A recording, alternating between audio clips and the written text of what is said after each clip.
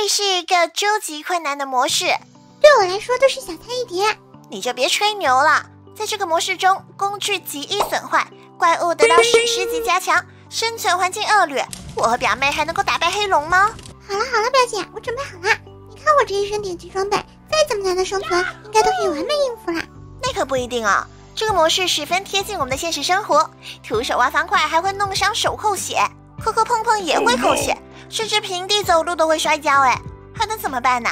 硬着头皮上啊！不过做了工具不用徒手挖，就能够避免被方块割破手啦。不是，这斧头怎么这么不耐用啊？砍两下就废了。那咋办？收集大半天才做了个工具，还一用就碎，这哪是玩游戏？明明是游戏玩我啊！而且采集还有概率不掉落物品，纯纯坑人吗？这不是？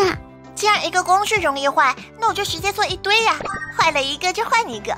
我倒要看看是你工具坏的快，还是我换工具换的快。石头工具容易坏，那咱们就去找点稀有矿石，看看高级工具会不会那么容易坏。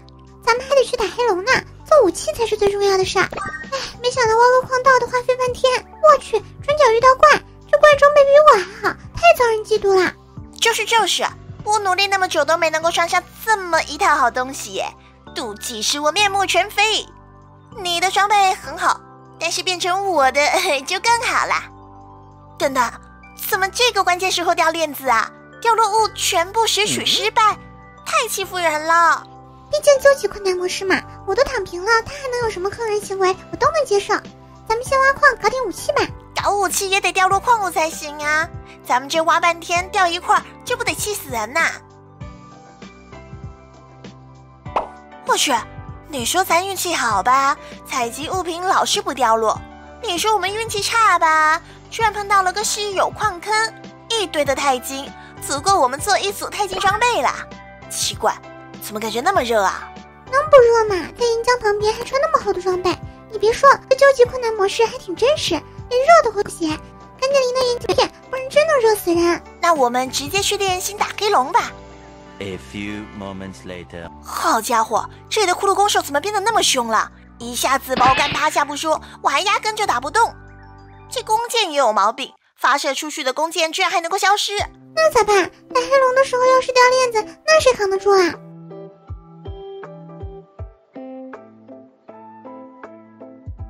不是我说啊，这些野怪攻击力还挺强的，走过都要被咬一口。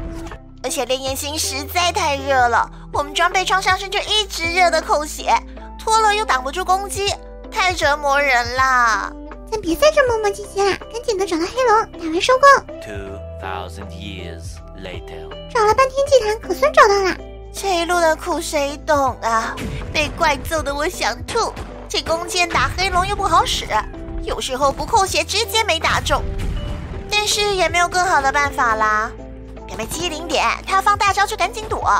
知道知道，我不是第一次玩游戏。虽然这弓箭命中率不咋地，但是攻击确实强。你一下我一下，可算把这玩意打败了。这究极困难模式，我是再也不想玩第二次了。还好只是打黑龙，打虚空我就真没办法了。